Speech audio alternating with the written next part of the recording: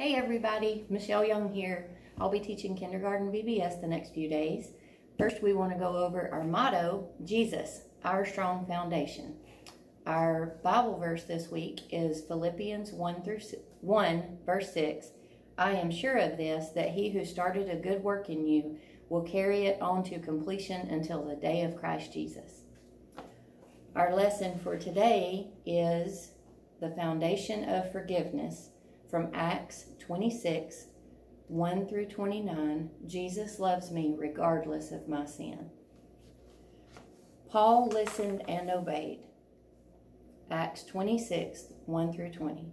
One day, Paul was traveling on a road to a city named Damascus.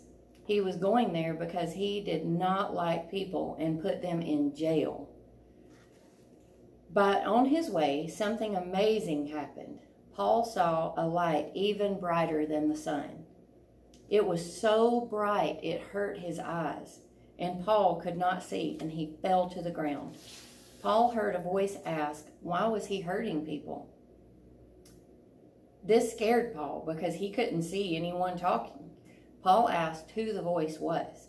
The voice answered, I am Jesus. Jesus told Paul to go tell people that God loves them. When Paul could see again, Paul obeyed Jesus, changed the way he lived, and he didn't hurt people anymore.